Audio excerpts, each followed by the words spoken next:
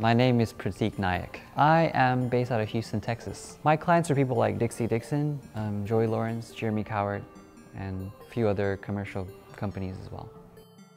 I think Sandro's work is elusive and very versatile. He's able to capture emotion like no one's done before. I mean, the stories you hear about him and the work that you see speaks for itself, and there's a reason why he's so iconic. I think the defining moment for me as a retoucher was um, a few years ago, I finally won an award for Retoucher of the Year by Framed Network. And what happened was they had nominated a bunch of retouchers that I considered my idols. And at the end, I found out that I was nominated as the winner. And I think that moment in my head solidified the fact that I was probably meant for this industry. So in this tutorial, we're going to be covering a lot of techniques that involve um, color grading, compositing, bringing a concept to life.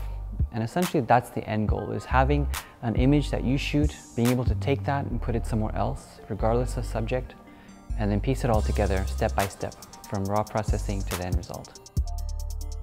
I think my favorite part about this tutorial is the fact that we get to see an image that was taken in a foreign country, in Papua New Guinea, brought back in the studio, and executed to match the photographer's vision from start to finish, including compositing, and color grading.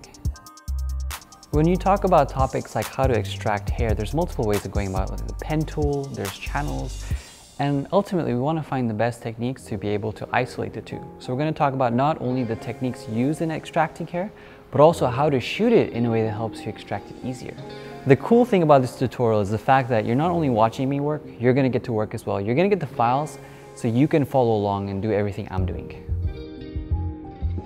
I think the relationship between a photographer and a good retoucher is almost like dating. You have to be compatible on many levels in terms of communication, your vision, and the end goal.